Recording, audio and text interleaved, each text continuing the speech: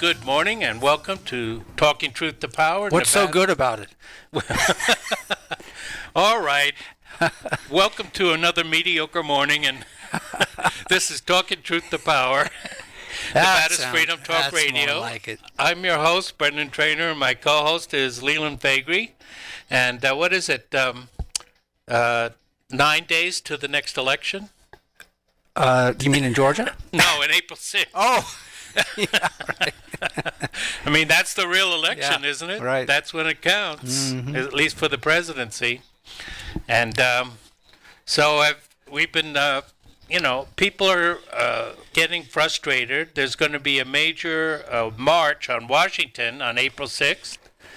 And I'm sure, and actually the day before as well. yeah, the, day- on the As 5th they and sort the of 6th set it up, yeah. big demonstrations and um, so the but the courts have been less than responsive um, you know they say that the suits are either too little too late they're speculative you know and they won't uh, allow any of the people that signed these affidavits to testify and be cross-examined which is what you have to do to really put an affidavit in the record Or is it because they understand that there's a constitutional remedy that they don't have to get involved with?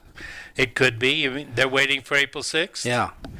Well, you know, the Constitution only says January 20th um, is the Yeah, last there's n- it's is a- the day when right. He's inaugurated. It's possible that it could go beyond Right. April 6th. Could go right up to, to the inauguration day itself. Right. Yeah.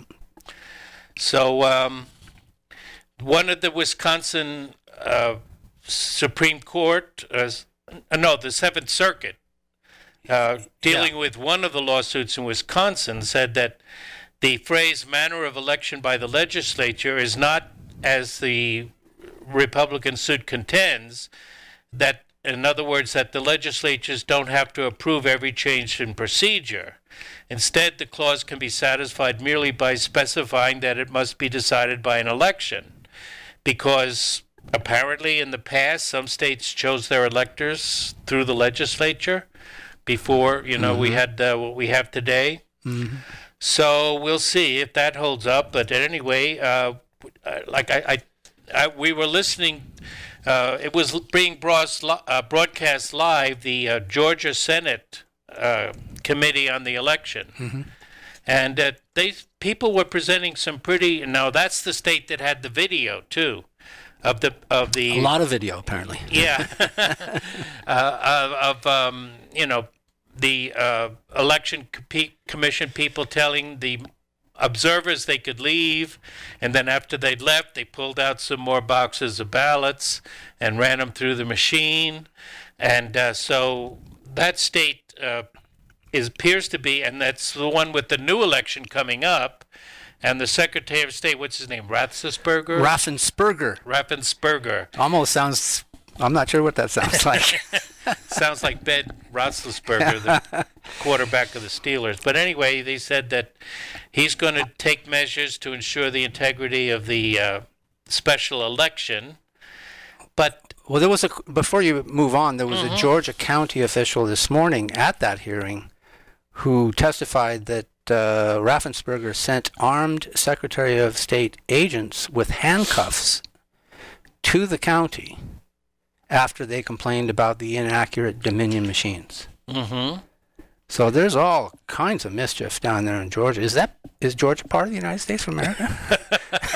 I know it's off uh, in the It's so far in the south? somewhere, you know. but uh, the uh, I heard the one witness who sounded very authoritative. He's been in the computer analysis business and uh, for you know decades. He said the problem is the paper ballots themselves, and he demonstrated ways that you uh, could make it possible. Uh, first of all, he demonstrated that every when you mark off the the oval, you know, to check for the Right. candidate, that every every one of these uh, ballpoint pens leaves a certain signature. And when you press down on the ballpoint pen and then move it around to fill in the oval, it leaves a few little white streaks because the pen doesn't reach everything that you can mm-hmm. see with a microscope or whatever. And on the contrary, if it was printed by machine, it would be a uniform blot with only a few little specks in there, but basically just a blot. I see. And so uh, he said if the, he got five hundred thousand dollars, I think that's what he said, he could audit all the paper ballots in about two hours by running them through his, you know, auditing machine. So by dinner we'd know. by dinner, we'd know exactly. I'm in. Yeah, Let's do that. I'll authorize it. Well, Trump has called for uh, Brian Kemp to resign again this Right. morning. It's heating up. This Oh, thing yeah. is clearly heating up, and next Wednesday is going to be a lot of fun. Uh huh. Of course, we'll be here in the middle of it. yes, So we'll be right here broadcasting. I'm going to suggest that our listeners have one television set set for whatever's going on there, contemporary, Yeah, right. and then and then be listening to us, of course. Of course, because we are the the real interpreters of what's going on. Ah, this is this is ground zero here. So we will see. And, and then Nevada did, I don't know if I mentioned, but uh, a writer for the Las Vegas Review Journal, uh, Koenig, uh, Jay, uh, oh, gosh, I don't have it. I was, I know the guy you're talking about. yeah. He did a little experiment where he got nine of his friends together with mail in ballots and he signed in his own handwriting the envelope and they signed the actual ballot and eight of the nine went through. Yeah. well, this is what uh, has been uh, of most concern here in Nevada all along. Yeah. Um, Laxalt has been documenting all this stuff, and so it really has to be that case has to be made, mm-hmm. and it hasn't publicly been understood to be so mischievous Mm-hmm. heretofore. Right. So uh, we can only wait and see, but uh, we'll we'll be back with some more election news When are we going to do that? right after. oh, the right break. after the break. Yeah. Oh, okay. Okay.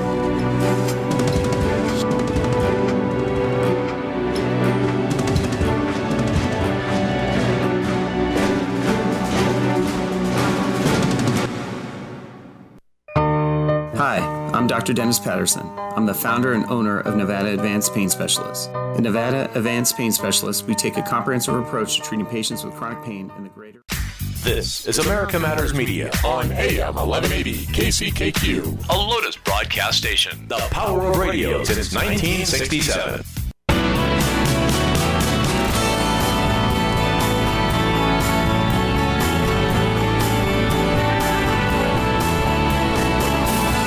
Are you shy and don't want to talk on the air? Text us your questions or comments to 775 237 2266. Now, back to the show.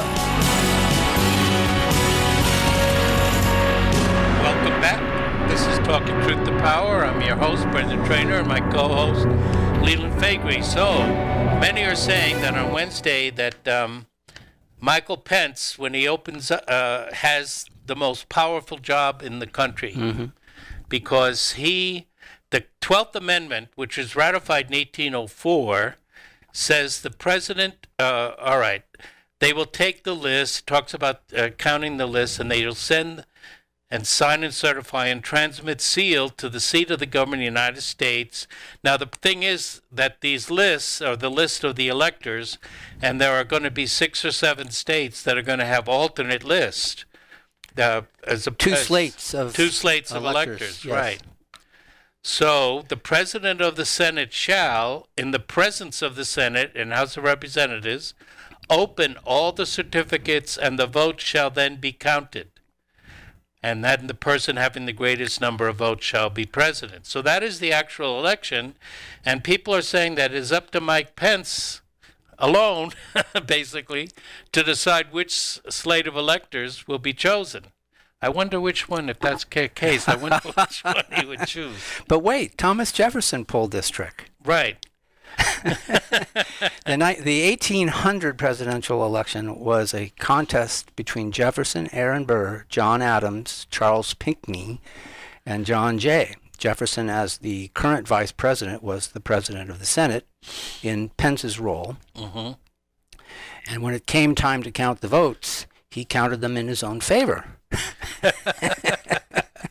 Gee, we missed out on President Pinckney. And according to uh, certain ac- certain accounts, uh, Jefferson failed to pause before counting Georgia's four electoral votes into the Republic uh, Republican column, declaring the final vote as if nothing were amiss. Had Georgia's ballot been excluded, the vote count would have admitted all five candidates into a runoff in the House. Boy, wouldn't that be something, huh? Mm-hmm. Without the decisive use of his power as president of the Senate, Jefferson might never have become president of the United States. Oh gosh, we all our textbooks would have to have been re- rewritten. to rethink everything. Bill of Rights, everything. So, uh, so it's not unprecedented. By the way, the Twelfth Amendment was ratified in 1804. That was after his presidency. Just four years after. Yeah. Uh, probably as a repercussion of what had happened there. what he what he did. And then, uh, well, you know, we we know that the uh, election went to the House of Representatives with the first time Andrew Jackson ran for president, and uh, that was. Uh, Caused a big uproar when Jackson was not chosen, and uh, instead uh, John Quincy Adams was chosen, and uh, Jackson used it to propel himself to the presidency in 1830. Now, um, I imagine that if Pence does that, uh, there will be somewhat of an uproar. There is going to be a response. Yeah. Yes, And I wonder if that could be taken to the Supreme Court at that point. possibly, yeah. That's really an interesting set of circumstances and scenarios that may um, we not may not be prepared for. yeah. Even here at Talking Truth to Power. and we think about this stuff all the time. Well, so you know, uh, so we have Georgia, Wisconsin, Yeah, yeah, and- and- isn't it Nevada, interesting that- Arizona. The Jefferson's uh, vote, electoral votes that uh, put him over the top uh, were from Georgia also. Isn't that ironic? Yes. uh, so the devil went down to Georgia.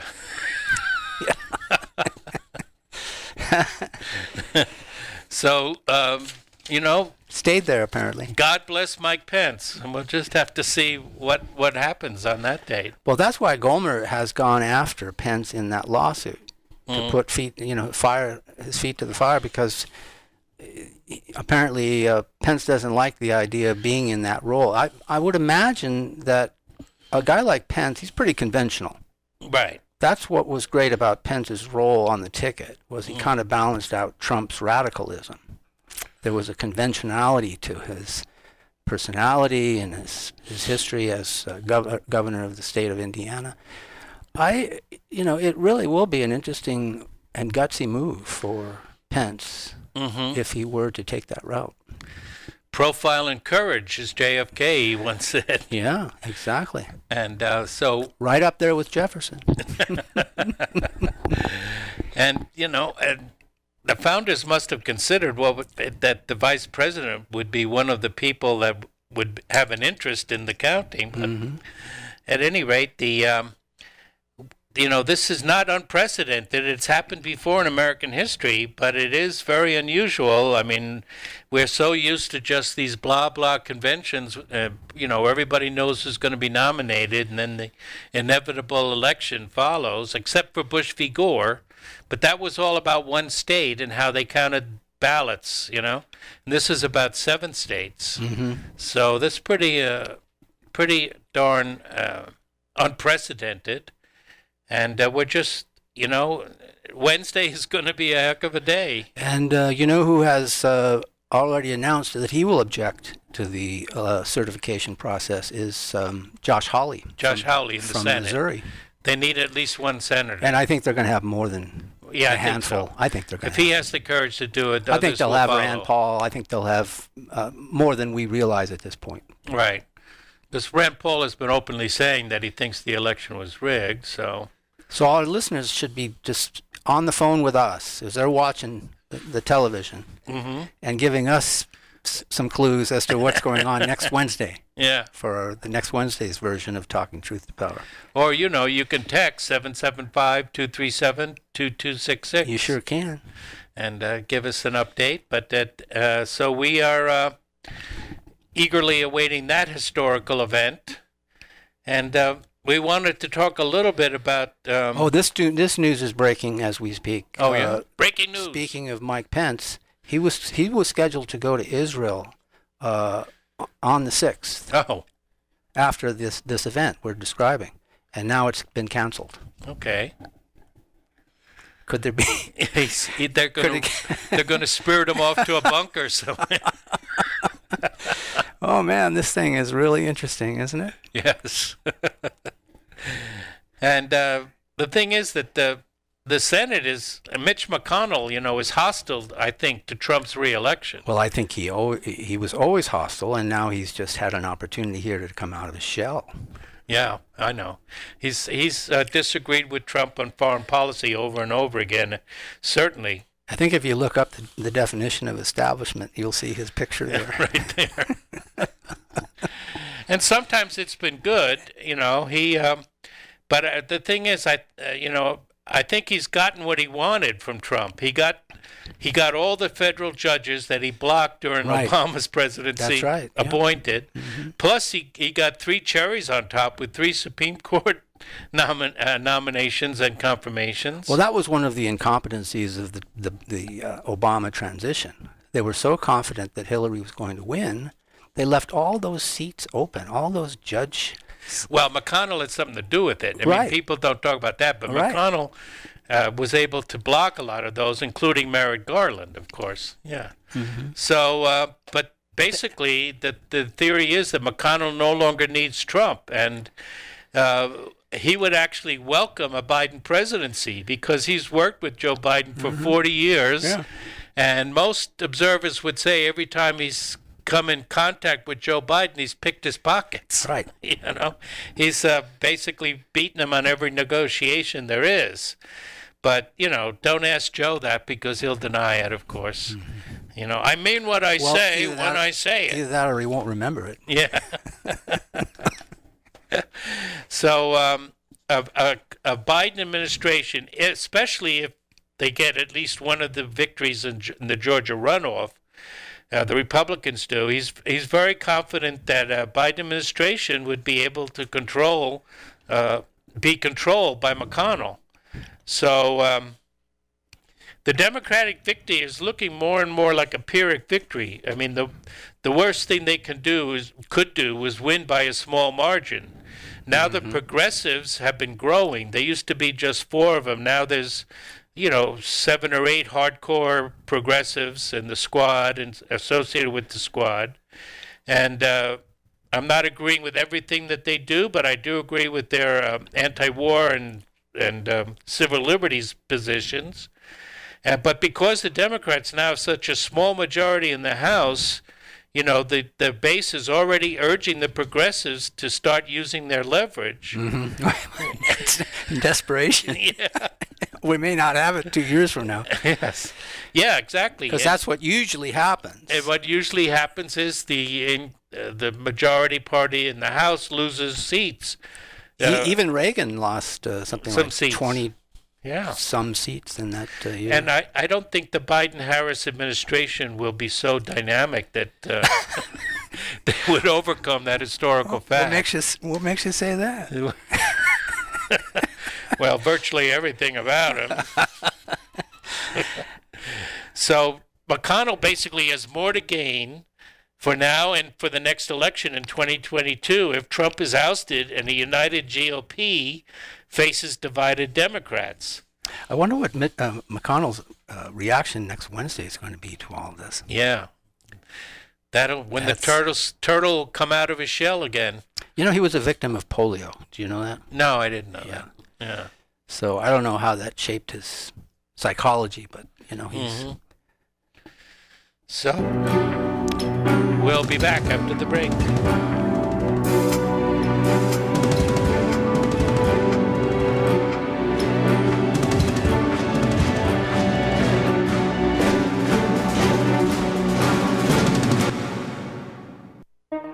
Did you know that 4,000 years ago, the Earth's magnetic field was 5 Gauss? Over the last 165 years, scientists have measured the Earth's magnetic field and found that today it is only Getting to know you. Let me tell you about America Matters with Eddie Floyd. It comes on every Monday at noon. Don't want you to miss it. That's America Matters with Eddie Floyd.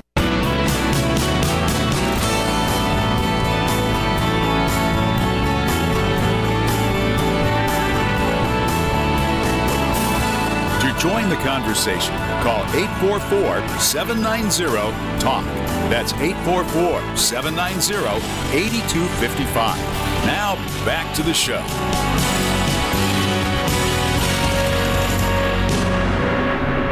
Welcome back to Talking Truth to Power. This is your host, Brendan Trainor, and I'm here with co-host Leland Faegre. And in, the last couple of weeks, we've had some uh, drama over Trump uh, vetoing bills, and uh, especially the uh, Defense Authorization Act, uh, which was, even though it looks like it's going to be overridden, uh, I can't remember any other time where, especially a Republican president, completely vetoed a Defense Right. Authorization Act. Right.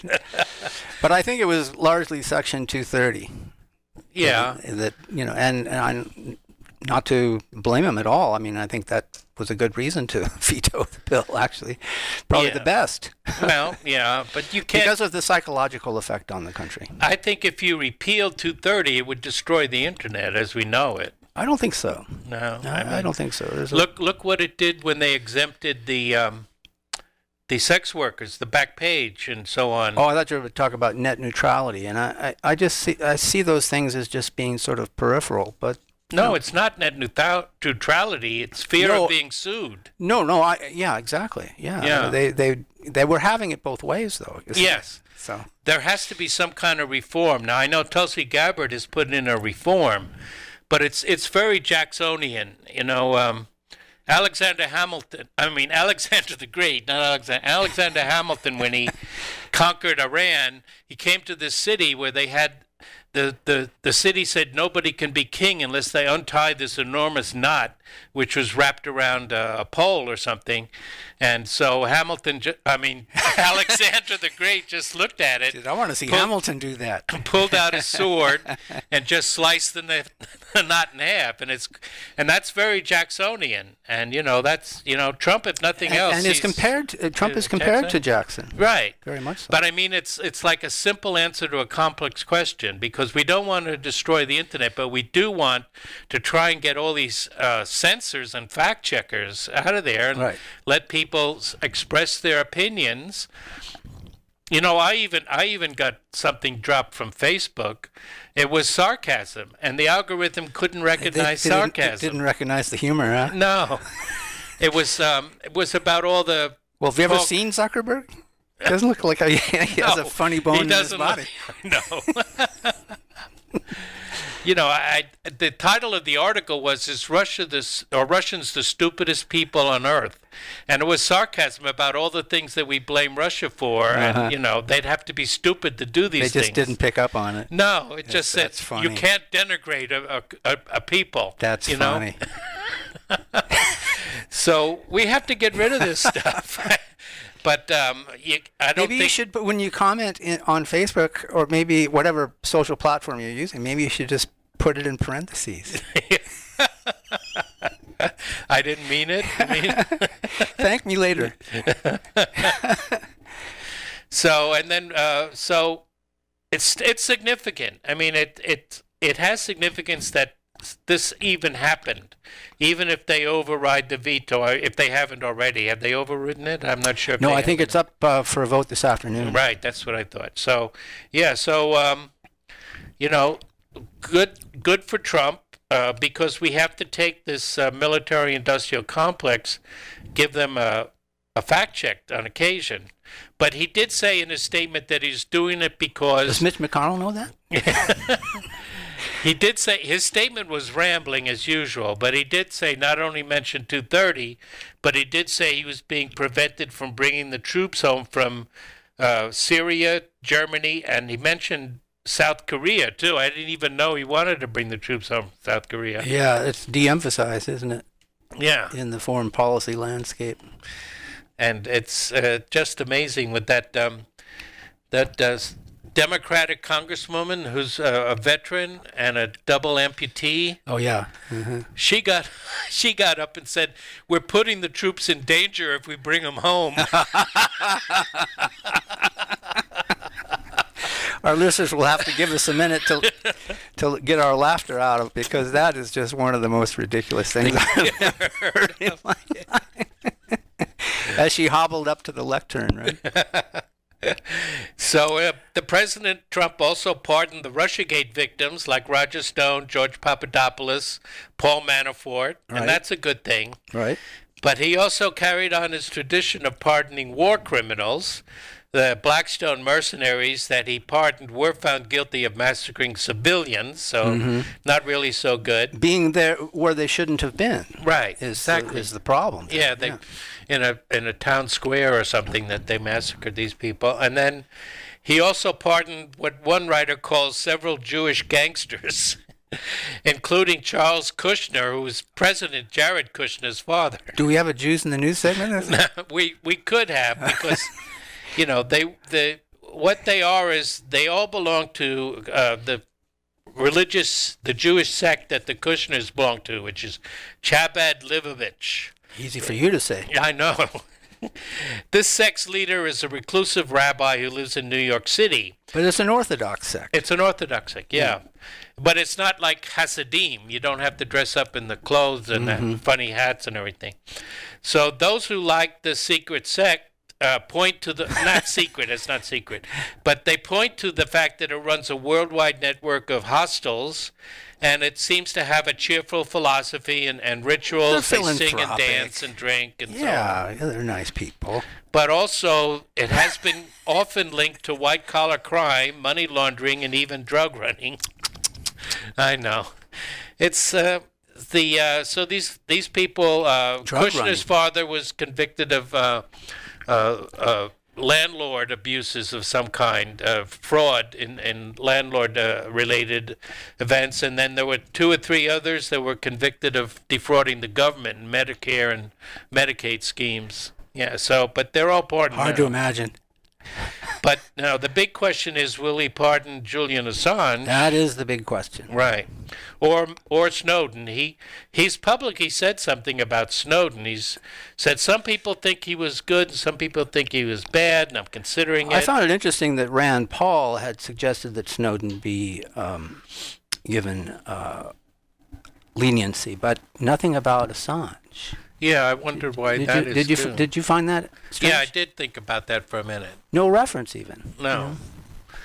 But a lot of other people, uh, maybe not in Congress, maybe they don't, they feel constrained to do it from Congress. But there are a lot of, uh, you know, rights groups and so on that are pressuring him, and and um, you know, Snowden is healthy. I mean, he's living in Russia. He's got permanent residency now. He has a pregnant girlfriend, so he's applying for Russian citizenship. But he's he's going to be okay. Uh, but uh, Assange is in prison. His health is failing, and uh, he's uh, He's up for not in good shape. his yeah. extradition hearing is next week, Right. so it could be that uh, it's it's about the timing more Yes. than anything. Maybe he'll wait and see what the British judge says, because it's it's Mm-hmm. almost a foregone conclusion from what she's her conduct during the trial that she is going to uh, vote for extradition. But you know, the thing is that Project Veritas released an audio that they discovered Right.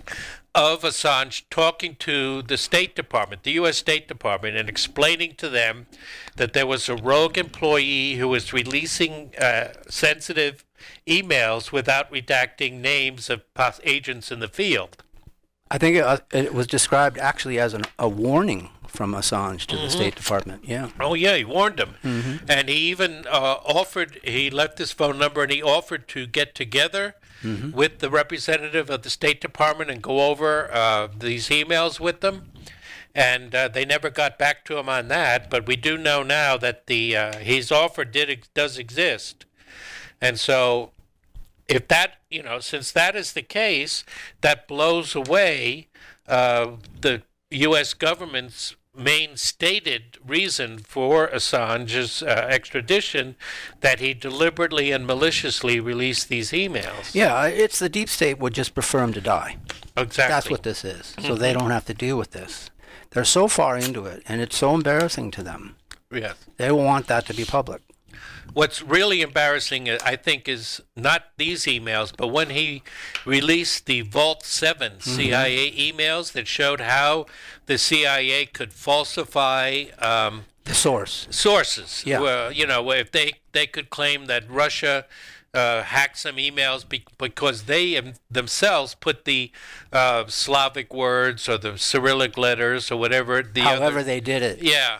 Yeah, it's very clever. And if we were to understand the extent of that complexity of giving source to someone that Uh-huh. it isn't, Right. um, it would blow their probably a lot of their operation. So Blow it up. Yeah. So um, Pompeo, to put it mildly, hates Assange. Yeah. He was head of the CIA. Yeah, he was there at the time. And uh, he remember he famously He's been kind of quiet over the past couple weeks, hasn't he? a little bit. Thank God. But he said that Assange, I've never been keen on him myself. that Assange was a non-state intelligence operation And Assange- rather than a journalist, And Assange called him. a, a state-run non-intelligence operation. Let's take it on the road, should we? It's just that good. Well, excuse me, I'm getting a frog in my throat.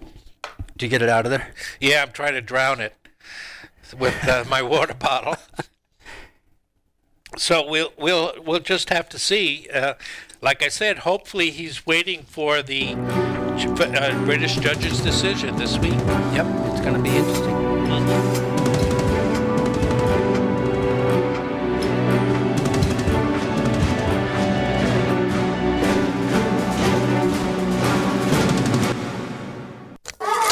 need to pay attention to my health. This is America Matters Media on AM 1180 KCKQ. A Lotus broadcast station. The power of radio since 1967.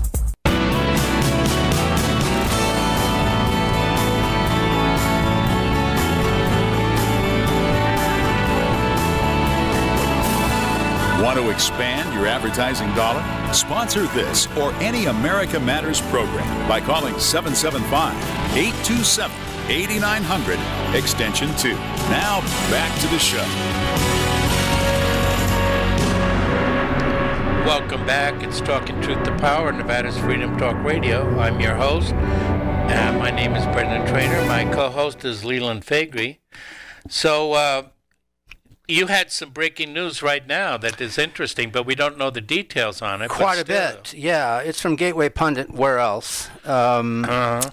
The uh, Walmart has apparently slammed Hawley for standing up against this election fraud that we're all experiencing. And Hawley turned around and let Walmart have them. I haven't had a chance to read the article yet. And also that uh, there's word on the Hill that Mitch McConnell and Nancy Pelosi are possibly working on a rule change to block the Electoral College objection next Wednesday. So I'm going to be reading that as soon as the Yes. our, this last segment ends today. All right. And we wanted to mention a Nevada story about the Clark County student, William Clark, and his mother, Gabriella Clark, who have sued uh, the, uh, the school that he attends in Las Vegas uh, because of its social justice curriculum, or in other words, critical race theory that they're pushing on the students. Right. And apparently, this is a mandated course. He's a senior, and he has to take this course to graduate it. But this is a, f- a state-funded charter school. yeah, so it shows you charter schools can be either liberal or Just as, just as worthless as any public yeah, school. yeah. And so, um, and the teacher, his last name is Bass, he greets students in this mandatory class as, "Hello, my wonderful social justice warriors." Oh my God, isn't that disgusting? No wonder he, he cried out. I want, I want out of here. How could this be any better than a regular public school? Yeah. Students are required to name their race, gender, sexual orientation, and state whether they are the oppressors or the oppressed. Sexual orientation? Yes. It's insane. I know. That's that's a definition of insanity. I know. And uh, so then they, uh, it's it's critical race. It's uh, Maoism. It's criticism, self-criticism. You know, it's what they used to do during the Cultural Revolution. And if you if you gave the wrong answers, you you know Yeah. you had to wear a dunce cap, or they tarred and feathered you, or Yep. or whatever they did during the Cultural Revolution. So. Um, it's uh, not a good thing, and we wish uh, these young men. Uh, you know what I saw? Because I saw that story. Uh, it was a television uh, segment. I think it was. I saw it on Fox. But uh, he was the only one to object.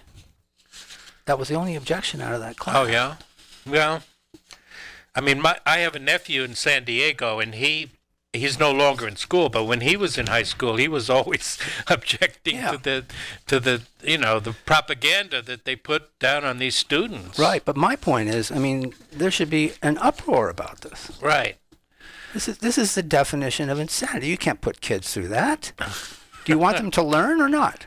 Yeah, they they they're learning to be submissive. Yeah. And to um, uh, to give up their white privilege or whatever they want to call it. And not understand anything about the foundation of the country they live in. Yes. So I, you know, they don't teach the proper civics, and then when they do teach civics, it's this kind of Frank Frankfurt School Marxism. Yeah, it's actually it's actually from the Frankfurt School. Can't make it up. I know. So uh, that's why th- this uh, coming Wednesday is going to be so important, April 6th, because uh, We're hanging by a thread. I know. The country's hanging by a thread, and people don't realize it. They don't realize how serious it is. No, there we have a lot of low information voters in this country. I think it was it Reagan that said uh, we were just a generation away from authoritarianism. Right. Well, It's- he a generation. He wasn't too far off. I think No. at least uh, maybe two, but uh, yeah, Uh-huh. it was right in there. Hmm And you know, uh, the power of the state ratchets up in a crisis, just like Rahm Emanuel said, never let a crisis go to waste. And then uh, later on, of course, there'll be a backlash, and freedom loving people will protest. It'll get to Congress. There'll be some reduction. But there'll be some managed control of the of the Yes. discussion from the propaganda media, and so and people are busy with their lives, and so they never get to the bottom of any of these stories. Right. Never. Never. And uh, there was a writer, he's retired now, Robert Higgs from the Independent Institute in Oakland. He wrote a groundbreaking work called Crisis and Leviathan, and he went through all the crises in American history.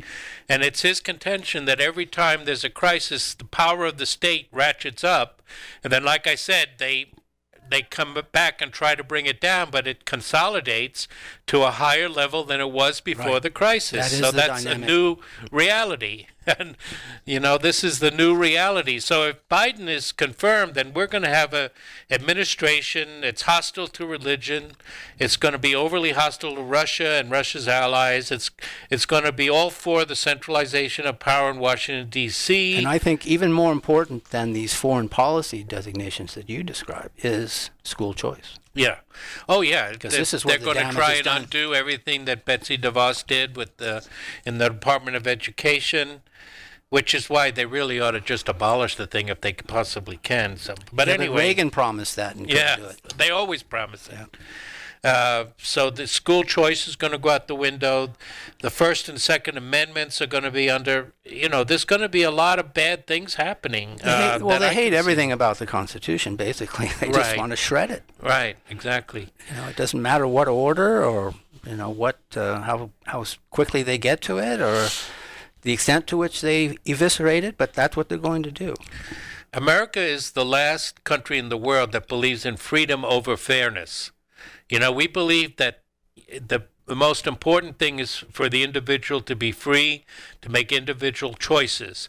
And from those choices uh, will come a better society and not to, be, to mandate fairness from the top down, which even some of our Anglo Saxon cousins like Canada and New Zealand, you know, they've tipped more to the fairness side. So we're we're we're one of the last, you know, probably the last beacon of uh, freedom in the whole world, and they're trying to take us down too, because you know all the developed countries in the world do it that way. Well, and how look how well they got through their COVID experience. yeah, I know. New Zealand in, in particular. Yeah, they're all they're all failed except for very individualistic uh, Scandinavian Sweden and uh, defiant uh, uh, Slavic Belarus. The the only two countries that that stood up to the madness, and uh, you know it's just amazing. And um, They knew they had to get to herd immunity, and they knew we weren't going to get there first. Right. So they tried it a different way. we don't need a UN Declaration of Human Rights to be the center point of our you know our lives. We need the U.S. Constitution to be restored. We need to get out of the United Nations. Yeah.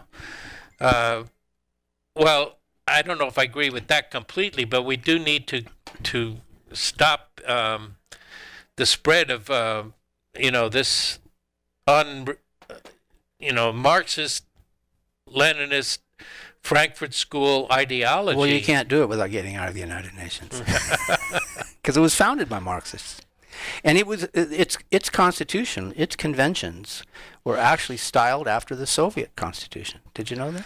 Well, they have some of the same Yeah. uh, things. I mean, if you there. look at them, chart them, you know, at, at the same time, they resemble each other, without even reading the text. Yeah, and these these other constitutions guarantee freedom of speech, freedom of religion, and they all, they all have flowery language, Yeah. and then the government just does you know the exact opposite. I'll go one step further. We'll get us out of the United Nations, and then get the United Nations out of the United States. yeah, that's that's that's more or less what I want. I and think we'll stop think, paying for it. I think there's nothing wrong with having a forum for countries to get together, as lo- as long as Yeah, you, but that was the uh, ostensible purpose for the organization, and that wasn't what it was designed to do. yeah. It was the infrastructure, it was the foundation for globalism, for a new world order, in which the nation states became city councils for this grand design. Well, Because that's basically Yeah. what what the nation states will become, should they ever uh, should they ever be enabled to create this grand design, this new world order. The United Nations will tell the states what to do. Well, the the thing that I am talking about here is that, you know, Putin and Russia and the uh, other countries that align with them, they believe that um, the the UN is the basis uh, for international law, and that every country should be free to to it, to establish its own sovereignty. And uh, But it's actually a prescription that will annihilate that sovereignty. well, you know, again, it's that's the opposite of what it pretends to be. Yeah, that that could be. I mean, the uh, Law of the Seas Treaty. I mean, and they're using the climate change nonsense to to be invoked in this. Inst- I mean, there's nothing. Handguns. You know, there's outside the the UN is a is a handgun with its barrel wrapped around it because it's symbolic of what they want to do. They want to eliminate the right of the individual to protect themselves against tyranny, because they are the definition of tyranny. Well, you very well could be right. I think that we do need a forum for nations to get together and discuss things, and I think that the there Trump should Hotel. be a basis.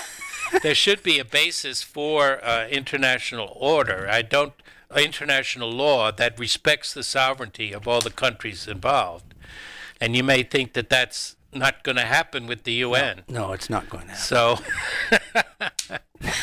but you know, if the opposite is might versus right, which is the U.S. position with the rules-based international order, that we make the rules and we enforce them, that's not good either. Well, no, but we don't. We don't have to. Those are false choices. They don't I have hope to. so. Either of them. Right, exactly. We don't want any false choices here on Talking Truth to Power. Happy New Year to our Yes. listeners. Happy New Year, and let's hope it brings more better news than we've been showing for the last four years.